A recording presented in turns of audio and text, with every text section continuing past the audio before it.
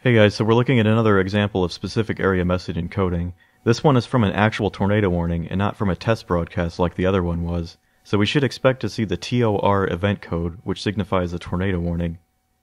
Here's the video which I'll be pulling the audio from. in some areas um, because of the, the, uh, the, the that are possible in the mid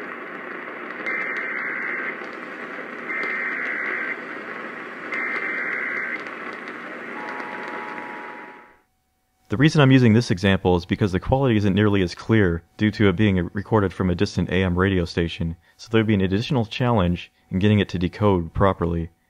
I did try to decode this earlier using similar techniques and it didn't work. There were just too many errors in the message. So there's a few things that we'll have to do in order to implement error correction and improve the reliability of detecting the message accurately. As I stated in part 1, a SAME transmission consists of three identical FSK signals sent one right after the other. These can all three be decoded and compared, which is basically what most SAME capable receivers do. To see why this would help, consider the following situation. So let's say we feed this audio to our weather radio and we get the following results. The first and third results are identical, but the second one is different. In the third character it has an H instead of a C, but by doing a best 2 out of 3 comparison, we can assume that the second one is an error, and the first or the third message are both the correct ones. Unlike working in real time with a live broadcast, in our case, we have the luxury of having all three of these signals simultaneously, so we could, for instance, mix all of them together into one waveform. This would have the advantage of increasing the signal strength threefold, improving the signal to noise ratio by 9.5 decibels. We could also decode all three signals before mixing them together, essentially providing a best 2 out of 3 for each individual sample. In this video, that's the technique that I'll be using. So what I'm doing first is just removing some of the noise here. Um, this is going to make it much easier to distinguish these three separate transmissions. You can see that's already made quite a difference. And now I'm just removing the space in between each transmission, replacing it with silence. So this is going to further make it easier to distinguish between all these.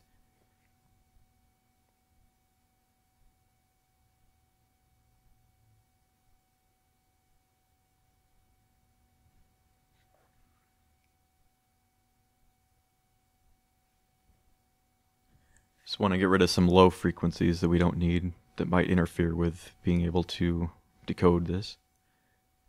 So I'm going to duplicate the waveform, and then using the notch filter, I'm going to get rid of the 1563 hertz on the top waveform, and then on the bottom waveform, we're going to get rid of 2083. So what that's going to do is separate the two FSK frequencies. So we're going to be left with the ones on the top and the zeros on the bottom.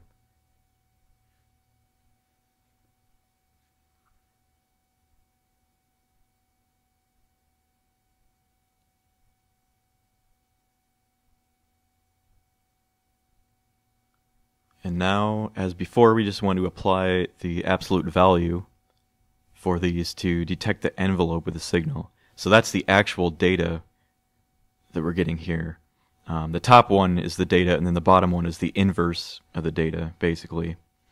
So we want to invert the lower waveform there, and then I'm going to mix them both together.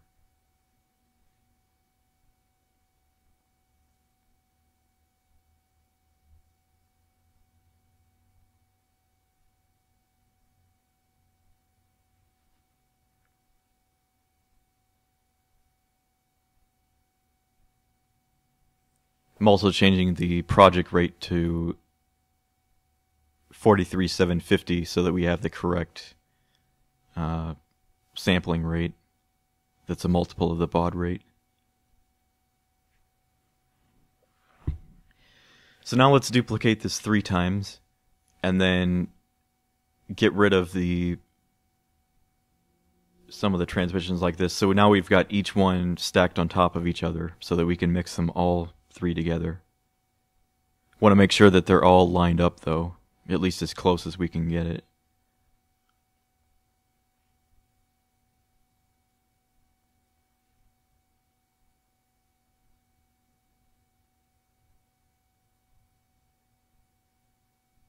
It's easier to do it at the end like this, but let's check the beginning just to make sure.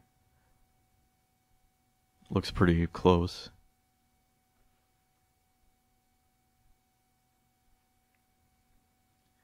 So yeah, let's mix these all together. Now you can see that the waveform is shifted a little bit too high, um, too far into the positive end. So we're going to have to apply some DC offset correction in order to get the waveform back down where it should be. We can easily do that in Nyquist just using the sum command. Um, so we're going to add a negative value to each sample, and that's going to shift it down like that. Um, I don't think that was quite enough, so let's try it again here. Mm, maybe one more time.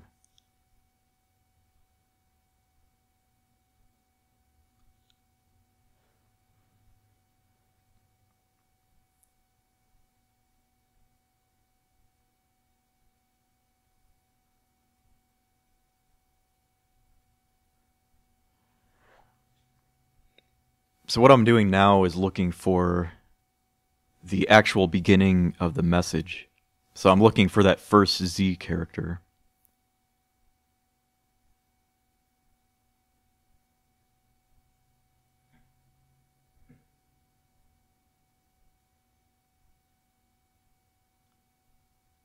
And now we want the first bit to be at least 84 samples long but I'm probably going to make it a little longer because we want to give our program a chance to get the synchronization on that. There's been some changes to the program I used last time, and you'll see what that looks like in a second here.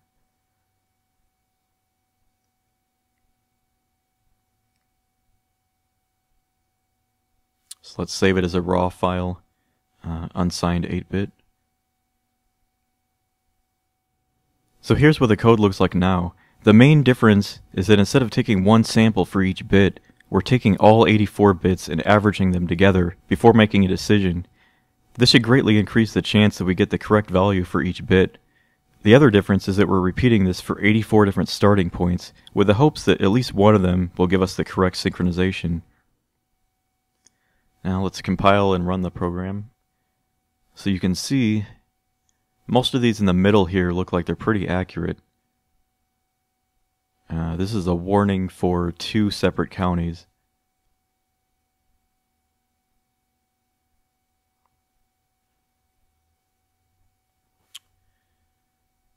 And then the first county is for Marion County, Iowa.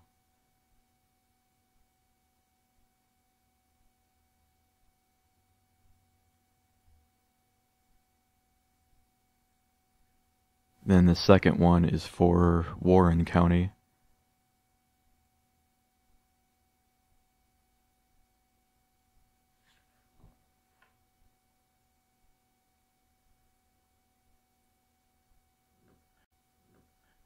So the the event code should be TOR for a tornado warning. Uh, we did not capture the T in this for some reason. But overall, I would say this, this decoded much better than I thought it would, given how bad the quality is of the audio that I started with. Um, but anyway, we can, I mean, pretty much everything other than that we can see just fine. It's WXR is the originator, um, TOR, tornado warning, is the event, uh, and then those two counties plus 30 minutes. So this is an effect for 30 minutes. And then 181, so 181st day of the year is when this was issued at 1846 Universal Time. So that would have been 12:46 or 1:46 p.m. local time. And then finally the WHO, that is the radio station that this was recorded from.